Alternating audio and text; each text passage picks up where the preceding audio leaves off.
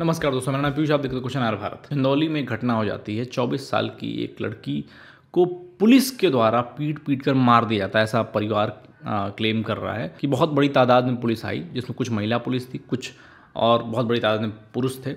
आ, कहा जा रहा है कि चालीस के आसपास लोग थे। पुलिस का ये कहना है कि जो लड़की के पिता हैं उनके ऊपर गैंगस्टर एक्ट लगाए तमाम धाराएँ लगी हैं पूरी हिस्ट्री शीटर हैं। और वो एक तरीके से गैंगस्टर हैं और उनके ऊपर पिछले भी मुकदमे हैं। तो उनको अरेस्ट करने गए थे।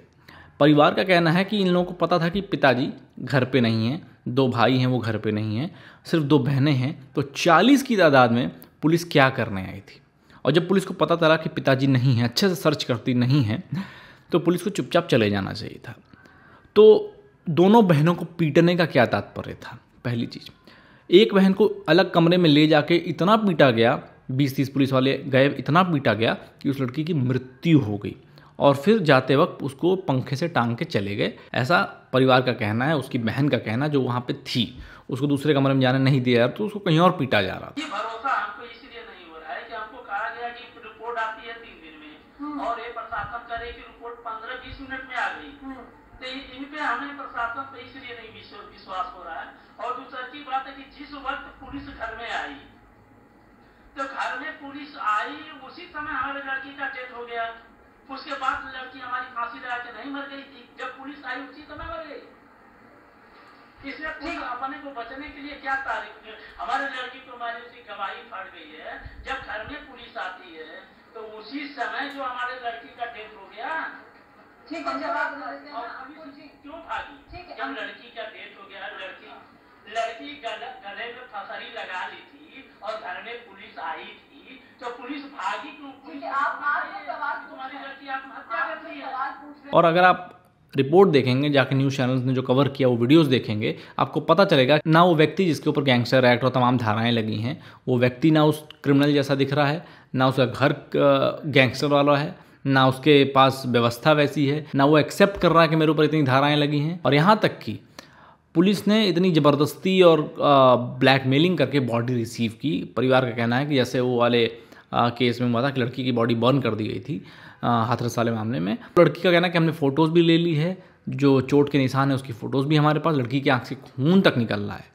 और जब पोस्टमार्टम हो रहा है तो डॉक्टर का कहना है कि हम दो दिन बाद रिपोर्ट देंगे, और पुलिस के पास ऑलरेडी रिपोर्ट आ जाती है, और पुलिस कह रही है कि सिर्फ़ पॉइंट फाइव सेंटीमीटर है पता नहीं, बहुत छोटा सा, मामूली सा चोट है, और थोड़ा बहुत आसपास है, और डेथ का कारण उनको नहीं बताना है। मतलब कि रिपोर्ट में भी नहीं बताया गया है।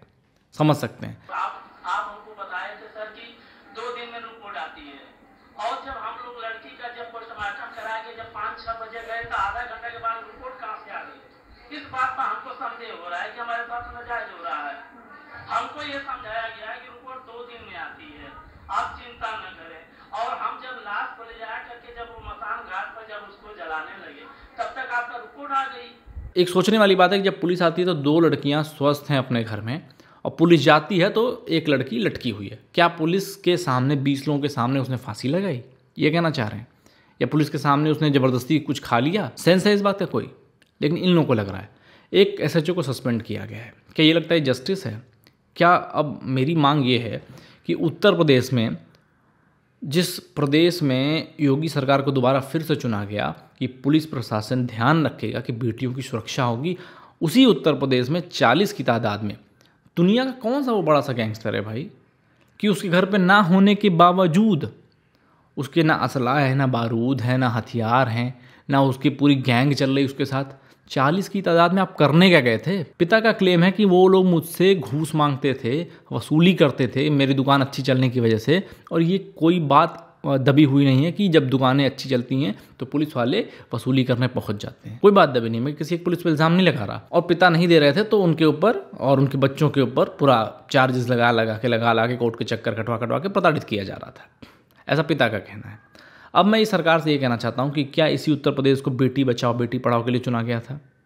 मैंने खुद इस सरकार को वोट दिया है। शायद उन लोगों ने भी दिया होगा। अब अपोजिशन ये गेम खेल रहा है कि वो यादव थे, इसलिए उनको प्रताड़ित किया जा रहा है। अपोजिशन को जो कहना है, कहे लॉजिकल बात कहनी कहे, जो मांग करनी करे। मैं एक नागरिक होने के नाते, एक वोटर होने के नाते ये एक्सपेक्ट कर रहा हूँ कि चंदौली में जो हो रहा है, चालीस के चालीस पुलिस वाले, महिला हो, पुरुष हो, सबको नौकरी से निकाला जाए।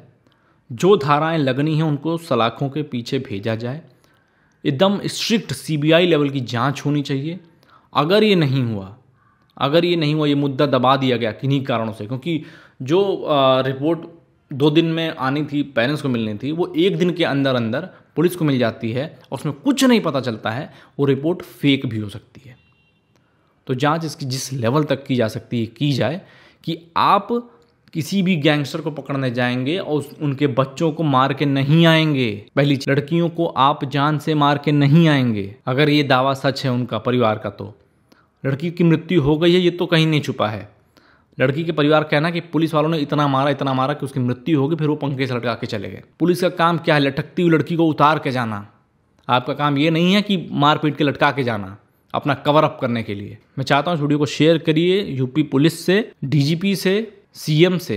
ये मांग हो कि ये जो भी हुआ है वहाँ पे, इस घटना की अच्छे से जाँच हो। सबके जितने अपराधी पुलिस वाले हैं उन सबके नाम चिन्हित हों कि ये हैं वो। घर में नहीं था वो व्यक्ति। शूट आउट में नहीं मारा है आपने किसी को। आप गए हैं। आपने इंटेंशनली खुन्नस में बच्चों को पीटा है। ये हिंदू, मुस्लिम, जात, पात, भाजपा, सपा का केस ही नहीं है। पुलिस ने बर्बरता दिखाई है। चालीस की आबादी लेके आप गए क्यों थे? जब आपको पता था कि वहाँ पे नहीं है वो व्यक्ति। मुझे ये समझ में नहीं आ रहा। खैर, अब देखते हैं मामला कहाँ तक जाता है। मीडिया वाले मेन स्ट्रीम मीडिया जो है, इसको ना उछालना बंद करे, इस पर दबाव बनाए प्रेशर बनाए, इन सब पे जाँच हो, चालीस के चालीस, एक एस एच ओ सस्पेंड हुआ है और क्लेम किया जा रहा है कि चालीस आए थे। चालीस। द मोमेंट उन्हें पता चला कि व्यक्ति मेन क्रिमिनल घर पे नहीं है, वो उनको उल्टे पाँव लौट जाना था, लेकिन वो अंदर गए फोर्सफुली मारा पीटा बच्चों को। ये यूपी की पुलिस है। मैं चाहता हूँ वीडियो को और आगे बढ़ाइए, दबाव बनाइए, जाँच होनी चाहिए, मुद्दा दबना नहीं चाहिए। वरना फिर पुलिस अपने शक्तियों का वो तो पुलिस को क्या सोची होगी कि हमारे पास फोरेंसिक है हमारे पास प्रशासन है हमारा सब कुछ हमारा है। हम मारेंगे पीटेंगे बात दब जाएगी रिपोर्ट बदलवा देंगे बात दब जाएगी ख़त्म कौन कौन? जब जब रिपोर्ट में आएगा ही नहीं कि मृत्यु का, का कारण तो किस पे हम कार्रवाई करेंगे? किसको सज़ा मिलेगी? पुलिस फ्री है भाई। ये होता है पावर का मिसयूज़ इस दिन रात के लिए योगी सरकार को वापस नहीं लाया गया था। कृपया इन पर कार्रवाई हो। अन्यथा आने वाले चुनाव में विपक्ष इसी बात को मुद्दा बनाएँगे और जनता के पास एक्सक्यूज़ भी नहीं होगा कि किसको वोट दें, किसको ना दें। उनके पास स्विच करने के अलावा कोई चारा ही नहीं होगा। फिर मिलते हैं। अगले जय हिंद। वंदे मातरम।